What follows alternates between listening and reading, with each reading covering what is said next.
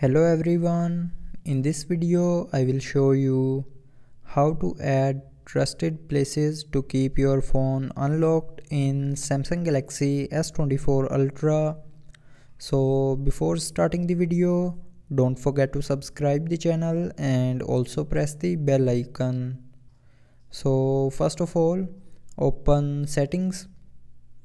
Now in settings, scroll down and here click on lock screen now here in lock screen click on extend unlock and then enter your lock screen pin password or pattern and then click on trusted places. Now here scroll down and to add trusted places click on add trusted trusted places. And from here you can select any area on the map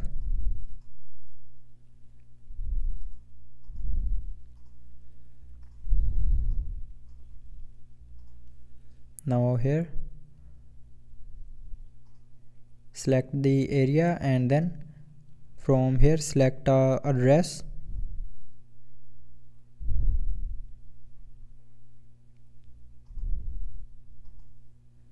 And after selecting the address click on ok. And now you can see the trusted place is added so that's how you can add trusted places to keep your phone unlocked in Samsung Galaxy S24 Ultra. So I hope you liked the video. Thanks for watching.